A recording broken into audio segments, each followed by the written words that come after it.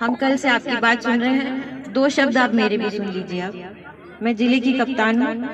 Arrest करने का छह जगह दबिश दे चुकी हूँ। आपने बताया उसकी औरत को ले आओ उसकी औरत उसके साथ फरार है। अगर आप चाहती हैं कि आप मेरे साथ बैठ के अरेस्टिंग करेंगे आप मेरे साथ चलिए आपको लगेगा कि मैं 24 घंटे से सोई नहीं हूँ आप नहीं सोए हैं आपका जब तक कष्ट आपका कष्ट है हम जान रहे हैं उस कष्ट को आप मेरी बात सुन लीजिए मैं बहुत देर से आपकी बात सुन रही हूँ सभी लोग सुन रहे हैं सभी अधिकारी सुन रहे हैं आईजी सर कमिश्नर सर वरिष्ठ अधिकारी हैं। जनपद के स्तर से ऊपर अधिकारी हैं मंडल के स्तर के अधिकारी हैं आपके लिए बैठे हैं आपके शोक में शामिल हैं कब से? किसी भी शव को रखकर शांति व्यवस्था भंग करना ये लीगल नहीं है ये गैर कानूनी है। फिर भी हम सब आपके साथ कब से बैठे हैं? आईजी सर आकर बैठे हैं। आपका दर्द हम समझ रहे हैं आपको हमने वादा किया है हम अरेस्ट करेंगे। कोई भी कॉज ऑफ़ डेथ या किसी भी चीज़ के बारे में किसी ने यहाँ चर्चा नहीं की है।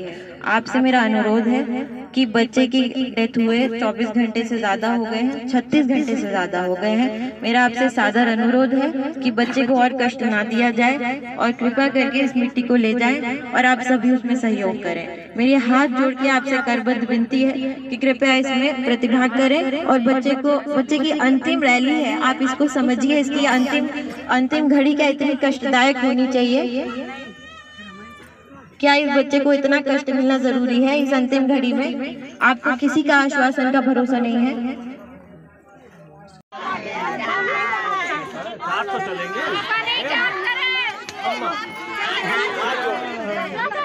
भाई साहब पन्नी तो खट्टी खट्टी करो पन्नी गले एक साइड में खड़ी हाँ गलती नहीं। ले ए बात ये ऊपर से डाल दे।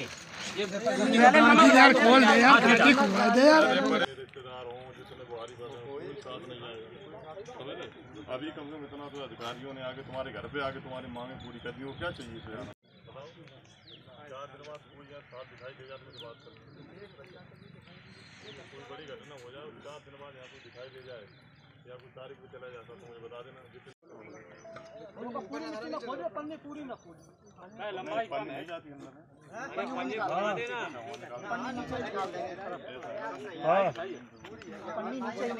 बड़े बूढ़े लोग आए ना बताने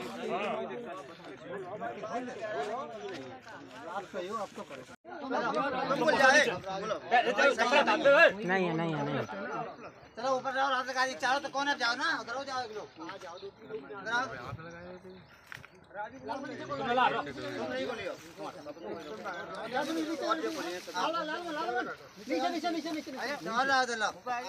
अरे और दो जने बोलिए साथ झुका